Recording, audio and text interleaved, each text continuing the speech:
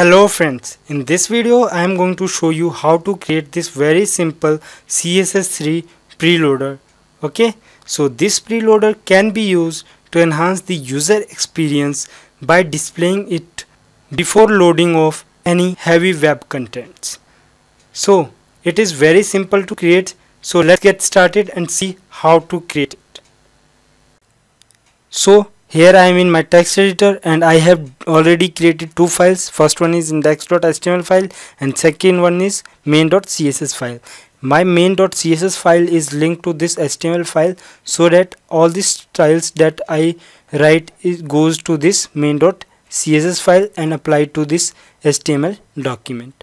Okay? So main.css file already contains a very basic css styles so that it set width and height of body element to 100% and it sets uh, overflow property to hidden so that scroll bars do not display while our preloader is uh, displaying.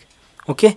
So let's open index.html file and here I'm gonna create a div with a class of spinner. So uh, spinner. Okay? Now let's split our window so that we can see both text editor and browser both at the same time. And now let's open main.css file. And in the main.css file I gonna target spinner class. And I gonna give it a width of 80 pixels and height of 80 pixels so that it looks like a square. Okay? And let's give it a border. And I gonna give it a border of 2 pixels solid uh, f3 f3 f3 it's something like gray. Okay. And also let's center this square into the browser. So let's position it absolutely and set its top property to 0 bottom to 0 left to 0 and right to 0 and apply margin property to auto so that it will be centered now okay? And let's apply a top property border top property to this square. So I'm gonna apply border top and give it a width of 3 pixel solid pound f25a41 okay? And we wanna make this square to looks like a circle.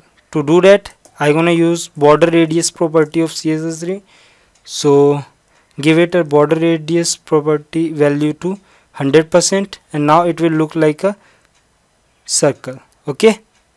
Now just one more thing left to do. We want to create anim an animation to make this preloader looks like a real animated preloader. Okay? So let's do that. I gonna write add keyframes name of the animation. I gonna give it a name of spin start curly braces. Basically what we have to do here we have to rotate our element. To do that we're gonna use the transform property of css3 so from keyword uh, from let's give it a transform property and rotate to 0 degree. So we're gonna rotate it from 0 degree to to property and 360 degree. So let's write transform. Rotate 360 degree. Okay. Uh, let's like this. Okay. Oh sorry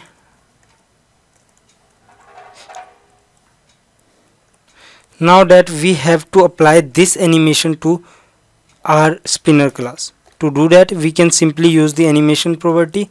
And again I am not using any vendor prefixes uh, like emoji or WebKit because all these properties are supported in all the modern browsers. Okay? So let's give the name of animation which is spin. Let's give it a time one second. And let's specify the infinite so that it start loading. And now you can see that it's much like a css preloader. And but it's not easing properly. So let's specify it's linear.